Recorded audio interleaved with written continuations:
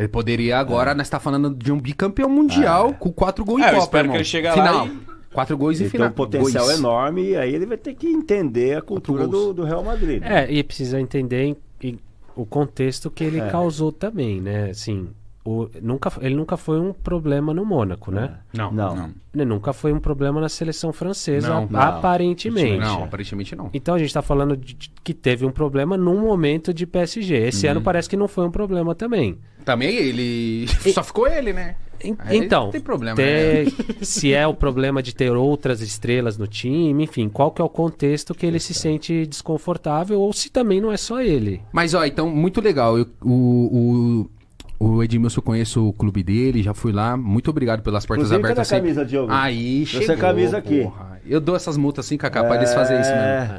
Falar... Trouxe pra vocês aí. Ó, na verdade, na verdade eu tô fazendo gestão. O SCA Brasil é um time em Santana e Paraíba e é- o Foz do Iguaçu eu tô prestando uma consultoria. Quando você trabalhar bem, os caras correm atrás de você, né?